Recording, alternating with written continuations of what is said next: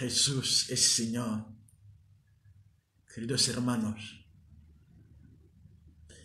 el amor de Jesús nos sigue acompañando o buscando.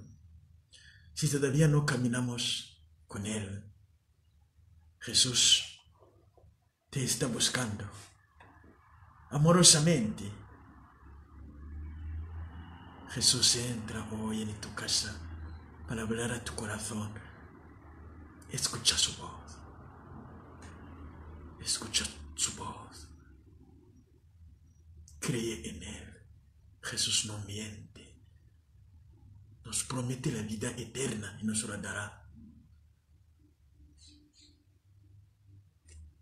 Todo poder le ha sido dado en la tierra y en el cielo, y nada, nadie nos puede sacar de sus manos, nadie nos puede arrebatar de sus manos.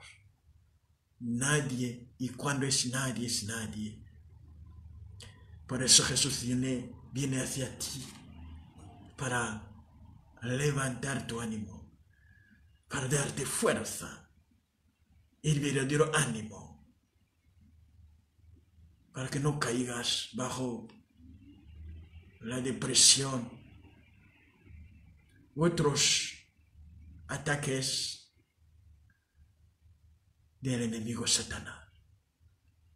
Escucha la fuerza de la palabra de Jesús que lo transforma todo,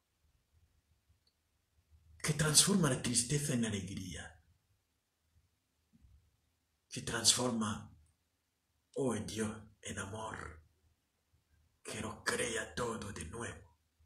Sí, Jesús es la palabra del Padre, la palabra creadora y renovadora del Padre. Se encarnó en el seno de la Virgen María y toca nuestro dolor como hombre, pero también como Dios, poniendo la fuerza de la divinidad Escucha, Jesús te habla para llenarte de gozo.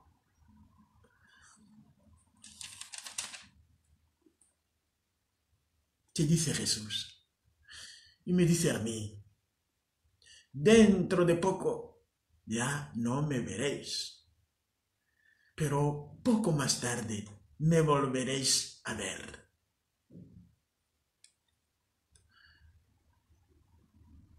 estáis discutiendo de eso que os he dicho. Dentro de poco no me veréis, pero un poco más tarde me volveréis a ver. Pues sí, os aseguro que lloraréis y os lamentaréis vosotros, mientras el mundo estará alegre. Vosotros estaréis tristes pero vuestra tristeza se convertirá en alegría.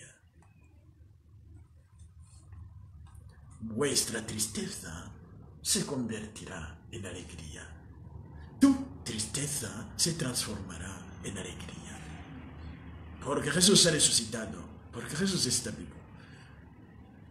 Queridos hermanos, la verdad es que nuestro encuentro con Jesús, el Dios Todopoderoso, encarnado que toca nuestro dolor con, con, carne humana y poder divino. Ese encuentro lo cambia toda nuestra vida. Y uno de los milagros que justamente, si podemos llamarlo milagro, que Jesús cumple en nuestra vida es que nos da el gozo verdadero, la alegría verdadera que el mundo no puede destruir usando todas sus armas, incluso usando la muerte. Porque Jesús ha vencido la muerte. Que entonces la muerte de alguien no nos hunda. Esto es su camino, ha terminado su recorrido, su itinerario. Nosotros tenemos que seguir el nuestro. Y un día nos veremos lo que tendría que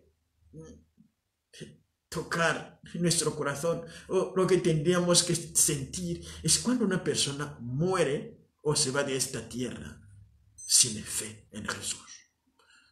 eso sí, es algo que nos, nos puede tocar, porque es algo triste.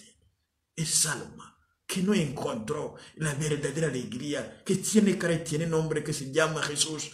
Sí, que hay que sentirlo, porque Jesús también lo siente. Pero otras almas preparadas, como la de Juan Pablo II, es una fiesta. Cuando se va, se va con, con victoria al enemigo. Y allí nos sostiene.